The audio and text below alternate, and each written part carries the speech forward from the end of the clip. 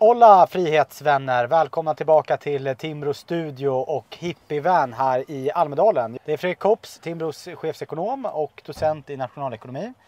Nu ska vi prata, vi har, vi har ju frihetstema här med lite olika infallsvinklar och nyss pratade vi om surrogatmödraskap och nu byter vi 180 grader ämne men på samma frihetskappa-tema. Och det är att, eh, att prata lite om att befria gatuutrymmet. Mm. Precis. Vad 17 menar du med det? Jag skrev en text nyligen om det som har tagit liksom inspiration från när jag har varit i andra eh, länder. Så när man går runt i Sverige så upptäcker man, i svenska städer framförallt, så upptäcker man snabbt att det är ganska tråkigt i svenska städer. Men om man åker till andra länder, och man behöver inte åka långt, det, det räcker att åka till liksom Köpenhamn eller eh, liksom Paris eller någonstans i Spanien. Då kommer man se att där går det att köpa mat lite överallt på, på gatorna. Jag var i Paris till exempel förra året när jag fyllde 40 och då var det någon som hade byggt om en kundvagn till grill och sålde majskolvar på den. Supertrevligt. Eh, Sydkorea också ett, ett besök som, som vi gjorde nyligen eh, tillsammans. Eh, där finns det ju mat överallt på, på gatorna. Tillfälliga liksom, små, små grillar där man kan köpa grillad bläckfisk eller liksom, friterade bönkakor och vad det nu fanns. Men det där saknas ju i Sverige, bortsett från när det är festivaler. Så alla ni som besöker Almedalen nu, om ni går ner till hamnen så kommer ni se att där finns en park med massa foodtrucks. Det där är ju bara undantagsfall. Det är endast när det är eh, festivaler som vi har så. Eh, och jag tycker att vi borde kunna befria gatuutrymmet mer. Eh, så att vi inte bara har subventionerade bilparkeringar utan vi tillåter, alltså är mer tillåtande för annan typ av verksamhet i, i gaturummet. Mm. Ja men verkligen, som du var inne på i, i Sydkorea som vi var i, gemensamt, då var det verkligen myllrande, små marknader och också där det inte var marknader så kunde man köpa allt möjligt.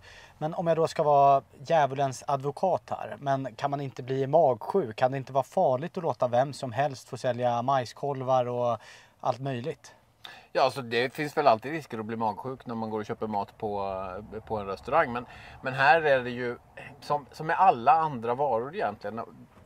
Producenter är ju intresserade av att, att erbjuda någonting som håller hög kvalitet. Om det är så att de inte sköter hygienen eh, med, med maten som de producerar, ja då kommer de inte kunna sälja mer i framtiden. För det där kommer ju sprida sig väldigt snabbt. Det finns ju inget som är så förödande för en restaurang som att ryktet sprids att man blir magsjuk av att äta där. Det är liksom, då är det kört ganska, ganska så snabbt. Mm. Eh, men utöver det så kan man ändå ha hälsokontroller och liksom säkerställa att, eh, att man uppfyller vissa liksom minimumkrav på, eh, på sina råvaror.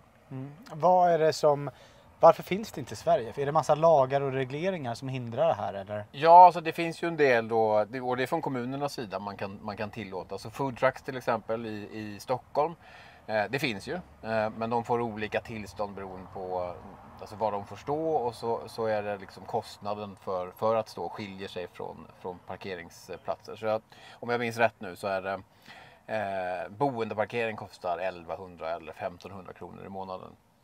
Men att parkera en foodtruck bara under de timmarna när man får sälja då, det, det, det kostar mycket, mycket mer. Eh, och man hade kunnat tänka sig att man eh, har samma priser för de här. Så hade vi prisat gaturummet, den som värderar det mest får också, får också använda det. Men sen finns det massa andra typer av regleringar. En anekdot som jag skrev om när jag skrev den här texten, det är en, en entreprenör i, i Lund där jag bor på helgerna numera.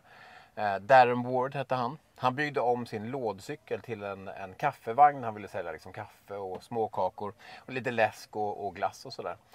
Cykla runt till, eh, till lekparken och sälja till föräldrar. Och då finns det i Lund i Stadsparken en, en väldigt stor lekpark som är väldigt välbesökt. Eh, men där fick han inte tillstånd av kommunen för att kommunen hyr 400 meter bort eh, ut en lokal till ett café.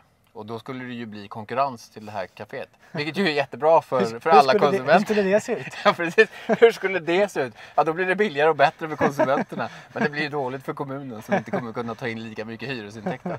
Så han fick bara tillstånd att sälja sitt kaffe på platser där det inte fanns några människor. Så, så det funkade ju liksom inte. Nej. Eh, och, ut, och fram till att han kom till det här att han då fick tillstånd att sälja kaffe där ingen ville köpa kaffe så hade han behövt gå igenom en rad olika tillståndsprocesser som kostar mycket pengar och tar lång tid. Så när man ser små barn typ sälja kaffe och bullar och saft. Mm. Det, är, det är liksom illegal verksamhet. Alltså det är bara polis, polisanmäl direkt de här små barnen. Man bryter mot lagen. Nej, det ska man ju inte göra. Alltså, vi uppmuntrar sån här, det är civil olydnad när den är som bäst. När tolvåringar står och tjänar lite pengar svart Precis. också. Ja. Och det tycker jag att man ska uppmuntra. Eh, Jag har, jag har själv en lådcykel som jag, nu är mina barn, eh, de har aldrig varit intresserade av att bygga om den. Men jag har föreslagit att de ska göra det. Nu har de skaffat andra sommarjobb som är mer lukrativa än att, eh, att sälja kaffe illegalt i Lund. Ja, jag förstår. Men och vad, ehm, jag menar om man, om man tänker sig, nu blir det väldigt teoretiskt här, men om man tänker sig en, en, en tätort i Sverige, det är gatuutrymmen, det är trottoarer. Det är ju många som vill ta del av den marken. Mm. Som du sa, det är, liksom, det är parkering, restaurangen som ligger bredvid vill ha en uteservering. Det är du med din eh, kaffelåda som du cyklar runt med. Det är fem andra aktörer som vill sälja friterad kyckling och majskolvar och så. Vem, vem ska få den plätten? Ja, ett sätt som man skulle kunna pröva, och det här kan man ju pröva experimentellt, det är ju att, ge marken till den som värderar det högst. Om det då är någon som har en SUV och är villig att betala 15 000 kronor i månaden för att ha den på, på en liksom markplätt på gatan, ja då ska de ju få göra det. Men om det är en, en uteservering för en närliggande restaurang eller bara någon liksom foodtruck som vill ha sin, eh, sin bil uppställd, ja då ska ju de få använda det. För då får vi ju, alltså den som är villig att betala mest, då, då har vi liksom det optimala utnyttjandet av den här offentliga marken. Istället för att, som man nu gör i, i liksom alla svenska städer, så bestämmer man ju från kommunalt håll att på den här markplätten så ska det vara en viss typ av användning. Ofta så blir det ju parkering i gatuplan och trottoarer är, är ofta eh, uteserveringar. Men bara under vissa tider eh, på året, för det regleras ju också ganska hårt. Mm. Men, men och hur tänker du att det skulle gå till i praktiken? Skulle det vara auktionsförfarande eller liksom battle royale där man står liksom som på marockansk eh, marknad och liksom budar på den här plättarna? Eller hur, hur ska det gå till i praktiken? Ja, man skulle ju kunna tänka sig, alltså det viktiga är ju helt enkelt att vi bara får äganderätt till marken. Och det kan ju vara långa hyreskontrakt. Det behöver inte vara så att man säljer eh, små plättar av gator. Liksom. Det skulle kanske vara krångligt.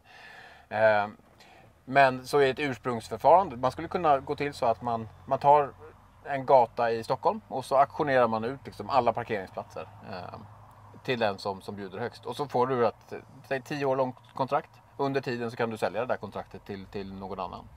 Eh, om det skulle vara så att, att den liksom optimala markanvändningen skulle, skulle ändras. Om det går från att ja, men du har köpt den som en parkeringsplats men sen så har det dykt upp en restaurang i lokalen som är villig att betala väldigt mycket mer från uteserveringen. Men då kan man köpa parkeringsplatsen. Ehm, och då behöver man helt enkelt inte från kommunalt håll lägga sig i och, eh, och planera vad det vad ska vara för olika sorters eh, verksamheter i, i markplan. Och jag gillar ju också den här experimentella ansatsen. Jag har ju, har ju varit på universitet väldigt länge och vi forskare, när man ägnar sig åt forskning så gillar man ju typiskt sett experiment för då går det ju att utvärdera det här på ett bra sätt. Då kan man ställa sig frågan, ger den här gatan då, om vi börjar med liksom en gata, ta Kungsgatan där vi håller hus i, i Stockholm. Auktionera ut hela den gatan, det är ändå liksom körförbud där förutom bussar. Eh, auktionera ut hela gatan och sen så kan vi mäta eh, hur uppfattar folk den här gatan eh, före och, och efter vi har auktionerat ut den. Är den liksom mer, är det, är det trevligare att vara där? Upplever väl folk att det är trevligare? Och då kan det vara så att det är en, en, ehm, en, en taxiplats eh, några meter, sen kan det vara parkering, sen kan det vara en uteservering och sen kan det vara ett stånd till exempel. Mm. Allt det kan samsas på egentligen samma plätt. Så. Ja, det sannolika är att man får någon form av diversitet vid liksom hur gatan kommer att användas. Så att man kan säga, på, du, du, du kan ju väldigt mycket om fastighetsekonomi och fastighetsmarknaden. Där har vi ju en hyresreglering. Kan man inte säga att gatuutrymmet är ännu mer reglerat? Alltså det, det är delvis prisreglering på själva ytan och det är också reglering på verksamheten. Ja, alltså det är ju en dubbelreglering. Så att man får ju inte du kan ju inte, om du kommer över en boendeparkering till exempel så kan du inte ta en sån här buss och ställa upp och så kan du bo där för 1100 kronor i månaden. Det får man ju till exempel inte göra. Även om det här är klassad som, fick jag höra när vi hyrde bilen, som en personbil. Eh, så du får ju parkera den här för 1100 kronor i månaden men du får ju inte också bo i den till exempel. Nej. Och där reglerar man ju verksamhet. Det spelar ju ingen roll. Jag menar, om jag skulle sova den här eh, eh, utanför Timbros kontor eh, året om. Det skulle inte det spelar liksom ingen roll för kommunen så att säga att eh, bilen står där oavsett. Om jag ligger i den här sängen och sover på nätterna eh, spelar ingen roll. Det är en konstig sak att reglera. Vi, på tal om regleringar, men på ett delvis annat område, så har ju du nyligen skrivit en debattartikel som har fått kritik från både vänster och höger egentligen som handlar om för att få bygga om du eh, äger lite, en plätt mark och vill bygga bostäder där till exempel eller hotell eller kontor eller vad som helst så finns det massa normer, massa regleringar som styr hur det här huset ska se ut, vad det ska få finnas för funktioner. Eh, fönstren ska vara i viss storlek, det ska vara visst mycket ljusinsläpp, det får bara bullra så mycket. Det är därför man inte kan bygga nära stora vägar till exempel. Och då gick du ut och sa att man skulle begränsa, ta bort många av de här regleringarna. Mm. Eh, och då är då motargumentet till dig, om vi ska debattera lite här, det är att okej okay, men då kommer vi ju få kåkstäder. Vi kommer få städer där det liksom är skyskrapor där det inte finns ett enda fönster till exempel. För mm. du vill ju ta bort den regleringen som säger att det måste vara visst mycket ljusinsläpp. Mm. Vad är ditt motsvar till mig då? Ja, alltså det här, och det, grundar, det här grundar ju sig att Boverket har ju, har ju tagit fram nya byggregler. Eh, med det jättefint, och där det är kanske första gången som vi är ute och försvarar staten mot, mot andra människor. När Boverket vill, vill ändra sina regler. De kallar det för möjligheternas byggregler. Vilket jag tycker är väldigt vackert och det, är väl, det stämmer ju också. Så, och bland annat så vill de då eh, ge, göra avkall på krav om takhöjd så man ska kunna ha liksom lägre i tak och göra avkall på krav om ljusinsläpp. Man tänker sig att liksom, eh, ny teknik kommer kunna lösa det och så vidare. Och då är ju liksom, som du säger, argumenten har varit att nu kommer byggherrar se en chans att tjäna mängder med pengar på att, att bygga hus utan fönster och liksom göra stora kostnadsbesparingar. Men de kommer inte sänka priserna och folk tvingas att flytta in i de här lägenheterna oavsett. Eh, och där kan man ju invända på väldigt många punkter. Den första som jag tycker är den viktigaste det är att om man tillåter liksom lägre tak och inte så mycket ljusinsläpp så ska man inte förvänta sig att, att det kommer byggas några sådana hus eh, överhuvudtaget. Utan det här kommer ha endast ha effekt, jag skulle bli förvånad om det byggs ett enda sånt hus. Det kommer endast ha effekt i att man bygger om redan existerande yta i, i källaren. Så liksom hela centrala Stockholm är ju liksom fullt av källare som används som, eh, man förvarar liksom julpynt. Eh, och om då ska lägga i olika vågskålar, liksom, vad är vill, människor villiga att betala för att förvara julpynt? Vad är människor villiga att betala för, för att bo i centrala Stockholm? Så, så kommer det ju liksom, att bo i centrala Stockholm är folk villiga att betala väldigt, väldigt mycket mer pengar för än att förvara julpynt. Eh, så det här är ju liksom värdeförstörelse av, av tusentals kvadratmeter bostadsyta bara, bara i Stockholm. Eller potentiell bostadsyta. Eh, och med uppluckrade regler så skulle man kunna bygga om det här. Men då är ju då det som folk oroas över är att eh, eh, ja, men det kommer, som du säger, det kommer byggas flera sådana här kåkstäder utan, utan fönster. Eh, men då glömmer man ju att, eh, att titta på hur marknaden för nyproduktion ser ut idag. Det är ju inte lätt att hyra ut nyproduktion. Det är inte lätt att sälja nyproduktion. Det är ju, liksom, det är ju hela förklaringen till att byggandet faller i år med liksom 55 procent. För det, det, går liksom inte att... Hushållen har blivit pessimistiska. Det går inte att sälja det här. Eh, och om du då ändå ska bygga då kan du inte mot en liten kostnadsbesparing ta bort fönstren och hoppas att du ska stå dig i konkurrensen med alla andra byggföretag som bygger med fönster. För människor vill ju typiskt sett ha fönster. Eh, det kommer vara en ganska liten del som är, som är villiga att göra, göra avkall på det. Eh, så det är svårt att... Alltså det, jag har, väldigt svårt att se att någon byggaktör skulle välja att bygga ett helt hus utan, utan fönster och tro att man kan eh, sälja det. För, för, så fungerar liksom inte marknaden. Mm. Nej, verkligen. Det är som att, eh, jag höll på att säga, det är som att sälja byxor med hål i. Men ja. skulle vilja ha det? Nu verkar det för finnas människor som faktiskt vill ha det. Eh, men men om, man, eh, om, man, om man tänker så här, jag sitter i en BRF-styrelse, en bostadsrättsförening eller jag äger en fastighet och så just det här julpyntet nere i källarplan. Många hus, nästan alla, har ju källarplan. Mm. Eh, idag är det alltså olagligt med nuvarande regler om ljusinsläpp till exempel att göra om det till en lägenhet. Ja, och ofta är takhöjderna också mm. för låga. För det kan ju finnas ljusinsläpp. Men många, eh, många källarlokaler har ju ett liksom, smala fönster som då sitter lite högre upp. Eh, men det begränsas också av, eh, av eh, takhöjden. Mm. För några år sedan så pratade jag för organisationen Fastighetsägare vid något tillfälle och så, så eh, efteråt så pratade jag med en fastighetsägare som jag inte minns var från Eskilstuna eller Västerås, någon av de två städerna. Som ägde ett bestånd där de ville bygga om eh, ehm, mängder av källarlokaler för det skulle öppna upp en ny, jag tror det var sjuksköterskeutbildning eh, om jag minns rätt. Så man räknade med att det skulle komma 500 nya studenter. Och då hade de mängder av källarlokaler men det var för lågt i takhöjd. Man kunde ha ljusinsläpp så det var liksom inget problem. Men kommunen sa nej till det och att ge dispens för att man ville att eh, ja, det, det var för lågt i takhöjd helt enkelt. Mm. Och det där är ju liksom inget problem. För en sak som jag tycker är viktig att trycka på när det kommer till de här regleringarna det är att eh, människor har ju vi måste ju ha en tilltro till att människor kan observera vissa saker när de köper en produkt och, och liksom inklusive hyr eller köper en bostad. Om det är så att man vill ha 3,50 i takhöjd eller liksom 2,80 i takhöjd och så kommer man in och så är det 2,10 i takhöjd. Då ser man ju det och så tänker man att jag vill inte ha 2,10 okej. Då får jag leta vidare efter en annan bostad. Eh, eller om det är så att jag väldigt gärna vill ha stora fönster och så är det inga stora fönster. Ja, då får man ju leta vidare efter, efter bostad. Eh, men det finns ju massa saker som, som kan vara värda att reglera som är väldigt svåra för mig att, att eh, mäta. Eh, till exempel, vi kan ju ha regler som säger att det får liksom inte vara svart mögel i väggarna. Det är svårt för mig att se men, men det kan man liksom om det kommer fram så kan man kräva att fastighetsägaren åtgärdar det. Eller regler om brandskydd så att det inte blir som liksom huset i Grenfell Tower i London där det börjar brinna i en lägenhet så brinner hela huset upp. Det, det, det är väldigt olyckligt och det där kan man ju reglera bort. Mm. Inte helt eftersom att det kommer alltid finnas. Liksom på alla marknader kommer det finnas oseriösa aktörer. Men det är svårt att komma undan. Mm. Och dessutom ett bostadsköp eller att, att ta, ta, ett bostadskontrakt är ett väldigt stort beslut i mm. livet. Och det är flera olika parametrar. Ljus och ljud och, och takhöjd är ju liksom tre parametrar. Men mm. det är också närhet, trygghet, massa andra saker. Man kan ju tänka sig just de här sjuksköterskestudenterna kanske prioritera, okej okay, men jag bor i en källare, det är ganska lågt i tak, men jag ska bara plugga det här i x många år. Mm. Eh, det kan jag leva med, men sen kanske jag inte vill bo här resten av livet. Nej. Ofta när man är i den här typen av bostadsdebatt känns det som att det är en statisk marknad. Mm. Att det kommer vara så här, ja men inte ska människor tvingas bo i, i lägenheter med lågt tak resten av sina liv. Nej. Men jag menar, man, människor är ju kapabla att själva bestämma, okej okay, lågt i tak kontra kostnad mm. kontra hur centralt det är kontra ljusinsläpp och så vidare. Mm. Eh, och vilka, om du skulle, det här är ju liksom en väldigt hypotetisk fråga, vilka tror du skulle kunna tänka sig att ta källarlokaler med dåligt ljusinsläpp och kanske lite lägre tak?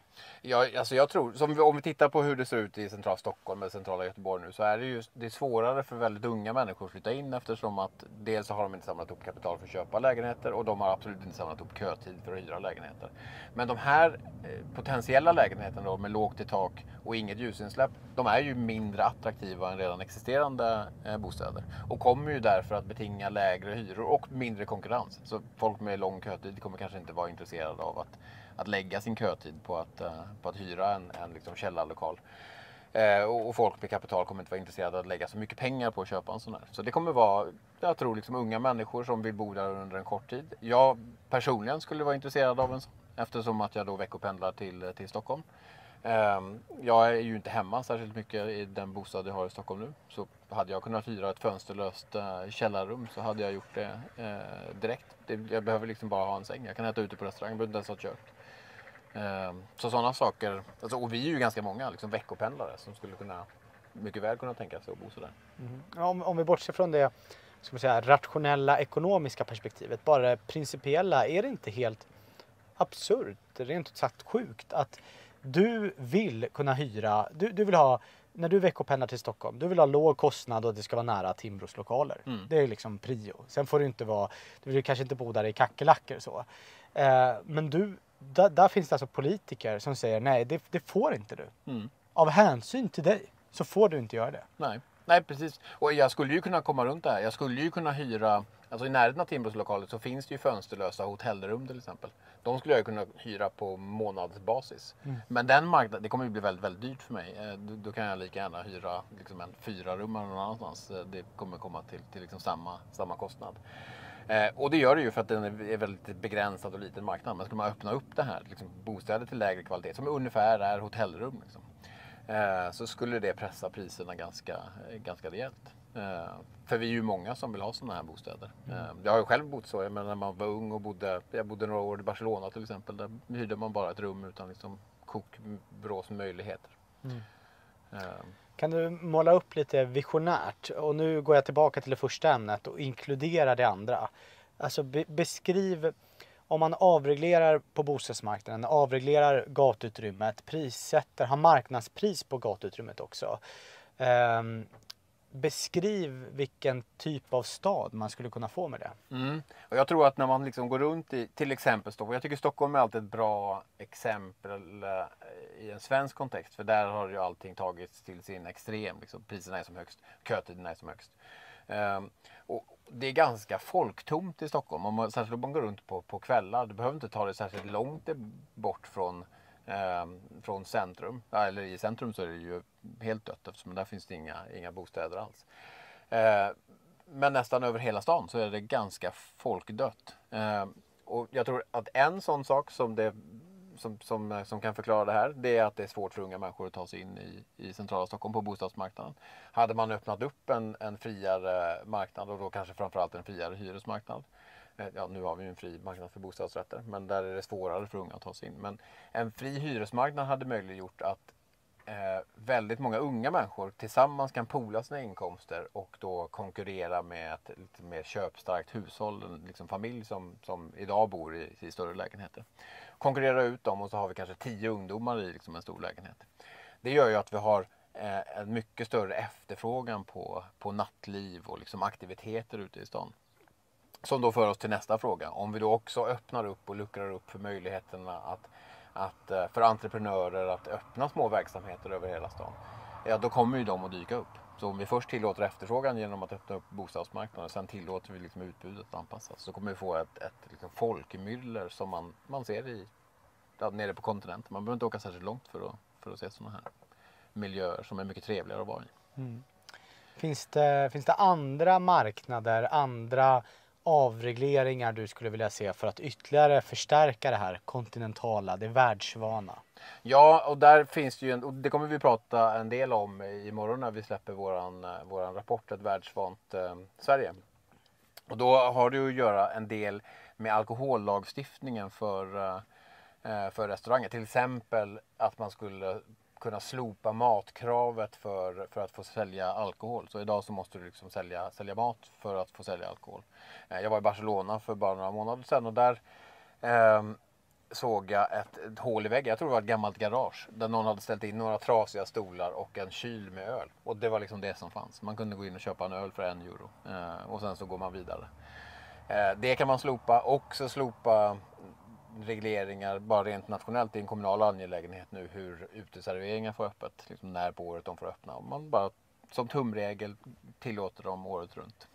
Eh, och också tillåta människor att ta med sig ölen ut på gatan. Liksom. Eh, för det där ställer ju också till det. Min favorit uteservering i Lund till exempel, den, den har en trottoar mellan restaurangen och sig. Så att om jag går in, jag måste beställa vin i baren och sen vill jag gå ut på utserveringen. Då måste jag ha någon som bär med sig vinet åt mig. För det får jag inte göra själv de där tre metrarna.